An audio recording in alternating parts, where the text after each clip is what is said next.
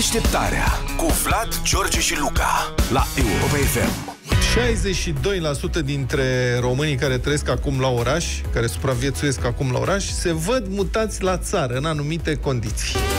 Locuința mea de vară e la țară Acolo era să mor De urât și de întristare Beat de soare și pârlit îngrozitor Așa e și la tine? Acolo Nu mai e chiar așa, urât? ba din potrivă, aș zice. orice babă E frumos, mie îmi place. Am loc de parcare.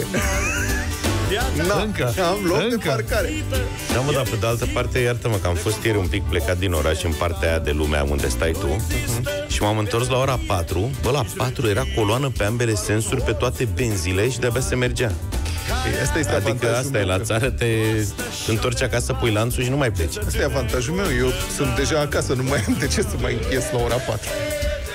E și asta o perspectivă. Mai e liber locul ăla de vis-a-vis de tine?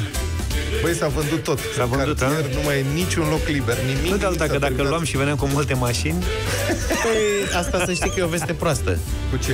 Că la noi în țară, când se termină locurile, încep să facă blocuri. Poate să fac vreo două blocuri de alea de 11 etaje lângă casă. Sper să nu se întâmple. Da. cu hipermarket la parter. Acolo, lângă, în cartier, acolo unde stau eu, nu se poate. Dar Nu în se- comună e posibil. Ei, nu se poate. Impossible is nothing, cum Yes. spune un slogan, mai ales la noi în țară. Never say Și never. vine primul, care zice, boss, facem un pat pe plus 4. Și îl face pe plus 6 și... Nu, acolo unde stau eu sunt alte reguli. Dar nu exclud E o posibilitatea... excepție nu pentru exclud, cei care vor să vadă de sus. Nu exclud posibilitatea ca undeva în comună să se întâmple chestia asta la un moment dat. Ceea ce nu va fi deloc plăcut, pentru că o să se încarce și așa drumurile. Foarte mult. Dar în rest, dacă îți mai place o insectuță care zboară și te ciupește, dar înțeleg că și în București e la fel. Altfel, iarbă verde, se trăiește mult mai sănătos, practic grătar în fiecare zi.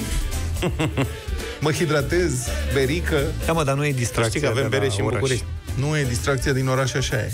La oraș o dist- în oraș e o distracție, Distracție de- bă, la orice oră stai în trafic. e super. Deci, uite, ăsta este un studiu făcut în 15 țări europene de un operator de telefonie mobilă. Și orășenii sunt gata să se munte la țară în anumite condiții, una dintre ele dacă există conexiune bună la internet. Tu nici n-ai net bun acolo. Da.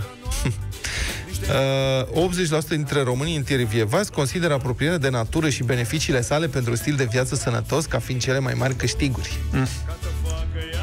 Mai vezi o vumpe, mai vezi un cuc, din Fazani. copac. Fazan am văzut fazan, am văzut vulpe, am văzut căprioară, am văzut iepuraș. Aveți vulpi acolo? Da? Tare. Vulpi peste tot. Și mult porc pe grătar. Ceafă de porc pe grătar multă.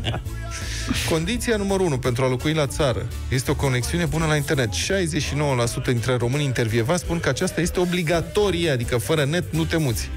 Pentru 25% este de preferat. O conexiune bună la internet a reieșit ca fiind mai importantă decât o infrastructură bună de servicii de sănătate, pe care 54% dintre românii intervievați o consideră esențială, sau decât un transport public bun considerat de 42% dintre români ca fiind obligatoriu. Pe principiu vechi. Mai țineți minte, nu avea românul neapărat căldură în casă, uh, cu lumina nu stătea grozav, gaze nu, dar toate apartamentele o antenă de satelit pe bloc, Corect. pe balcon. Deșteptarea cu Vlad, George și Luca la Europa FM.